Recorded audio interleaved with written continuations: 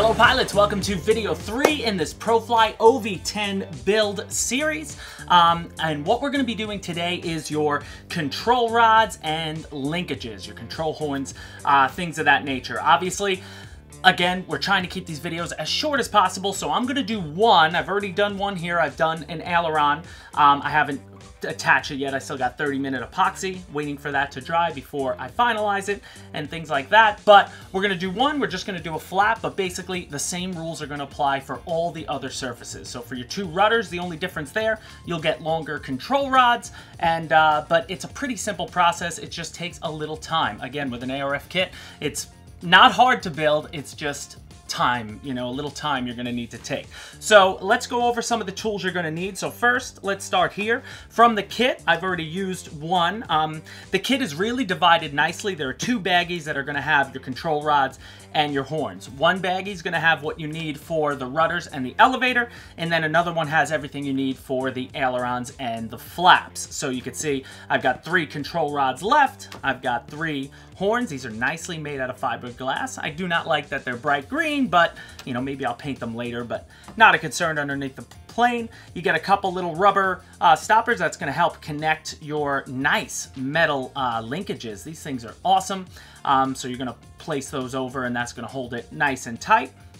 And then you have your um, plastic bits, or they're actually kind of like a rubber. They really bend really nicely, but that's gonna uh, clamp your control rod to the servo arm and just hold it in place. Now, as far as tools you're gonna need for this, um, they are recommending epoxy for your control horns. So I've got 30 minute epoxy. I figured I'm not in a rush and, and just in case I didn't want it to dry with five minute epoxy, God forbid it dried before I, I needed to move it around. You know, I have some time if I make a mistake if I use the 30 minute, so that's what I went with.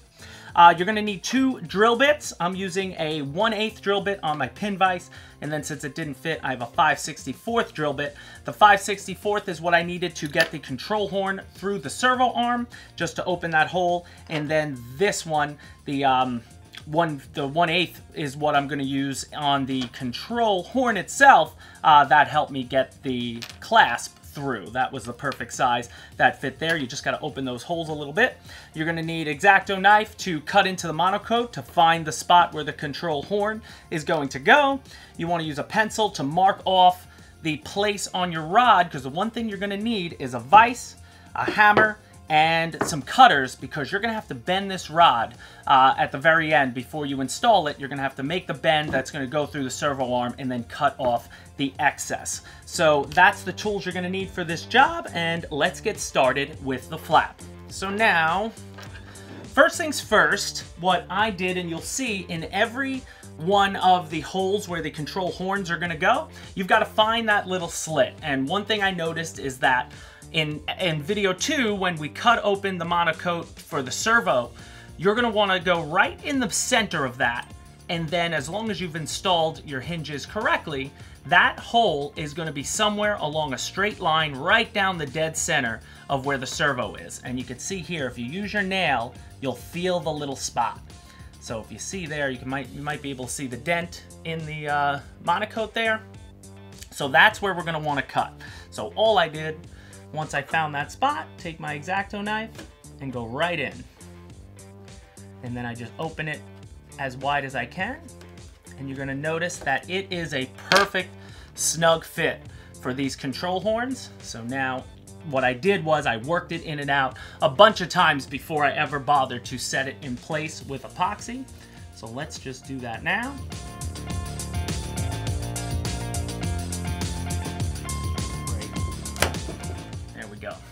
Can see that it fits nice and flush, nice and snug. So that's great. I'm gonna leave it there for a little while. I'm not gonna have to come back to it for a second. Now the next uh, part in this is going to be, let's build out our control rod. So you see they give you a nice washer, or nut, I'm sorry, a nut on the end and of the threaded side. And this hole, your clasp, is perfectly threaded. So what I did was move, move it back and I twisted it all the way to the point where it starts to come through the middle. Because again, when you make the bend, you only get one chance at that. You want to make sure you have enough slack, so, you know, if you bend it just a little out of place, you have enough play here where you can go back and forth just to make sure your control surface is where you want it, you know, nice and level. So once you get it out a little bit, then I just rolled this nut back up, and that's gonna keep it where I want it. Now I can't twist it anymore. Perfect. Now I've already got my servo centered from the last time and I still haven't gotten the servo extension so I didn't mount them in yet, but they're, you know, they're mounted to the plate. But now we're gonna make a mark to see where we should bend this uh,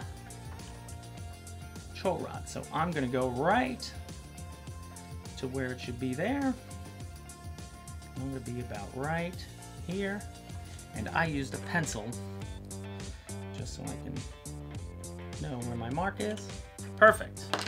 So now I know where I'm gonna make my bend, my 190 degree bend, and we're gonna put that into our vise. Bring it down. And again, it doesn't have to be, you don't have to be perfect because you gave yourself enough slack when twisting the, uh, when you twisted this, that you can go back and forth from wherever the bend is, just to line it up. So I'm gonna take my hammer, and I'm just gonna bend it down 90 degrees.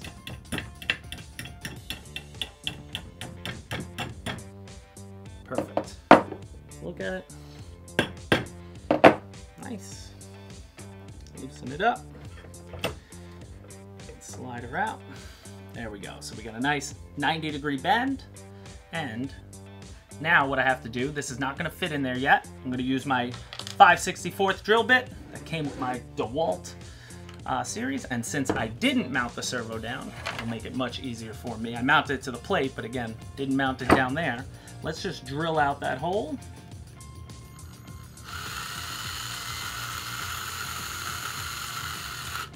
Perfect. And now test it. Perfect. Can see, nice and drilled out, but you're gonna have a lot of slack that you want to uh, take off later when you put on your clasp. But let's just make sure. All right, I'm gonna put that back where it should be. Put that in, and bang. Now I have enough play in this where I can go however far I need to uh, attach that once I epoxy this. So good. Now one last thing you want to do on the control horn, your rubber stopper, I found it's much easier to it's impossible to get it over the nut once you have it on. So place this on actually first.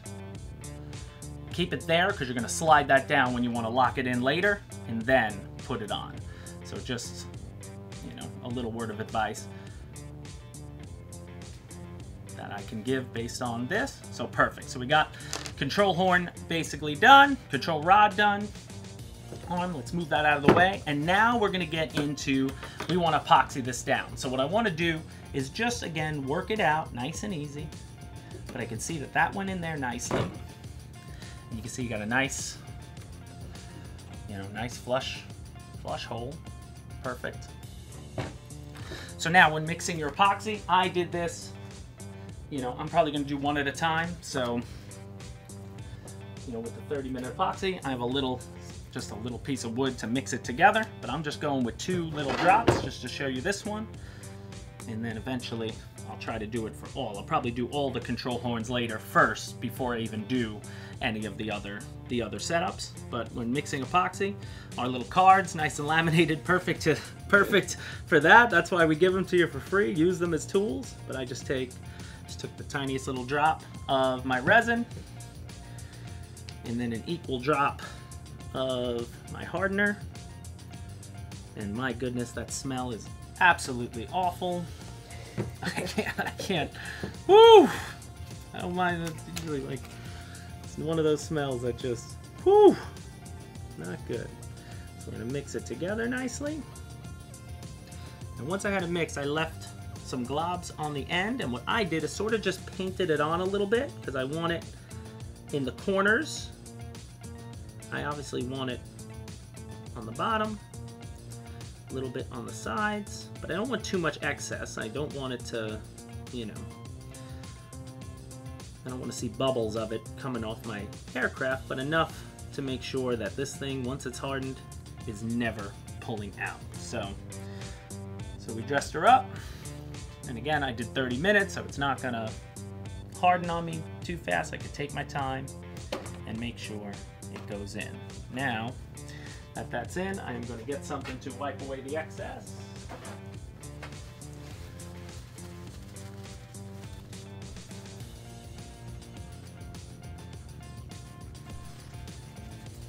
There's hardly any excess on there. Nice. Give yourself time. Perfect. So now in 30 minutes, that's gonna be rock solid and I'll be able to attach my control horn, no problem. And the last thing I wanna do on this control horn is just open the hole. There we go. Just make sure you open it enough. Beautiful. And that's gonna take my clasp. So now, I'm gonna take my servo back out and now we can sort of finish the job. So, putting your control horn back in, uh, control rod back in, and putting the, the snap, you'll see that it fits. Ooh, my fingers, too much coffee this morning. My fingers are shaking. Here we go. Motion RC coffee cups, get them while they're hot. Um, bring that around, and it acts like any, you know, any clasp on any foamy you've ever done. Snap it in, and now we're locked in and I've already measured, obviously know I have enough size, so now we just want to cut off that excess. So take your cutters, and I went close, but not not flush. I, I mean, I guess I could do it flush later, but I want to make sure in case I mess anything up. Whoa, oh. nice. Look at that. Caught it. That's that, and there you have it, guys. That will be, so obviously, once your servo's all done, you know, I could still take that off, but inherently, now, once this is hardened, I will have no problem attaching that, and that'll do it for your control rods and horns and linkages. So um, guys, you can, again, these steps are gonna apply to the rudders. The rudders, the only difference is that control rod they give you is a little bit longer. That's it, but you wanna just measure, you'll find the slot on the flap, the aileron, the rudder, and the uh, elevator. So just make that little incision, do exactly the steps here, that's what the manual says for all of them, and then you'll be done, and it'll be on to video number four. See you soon.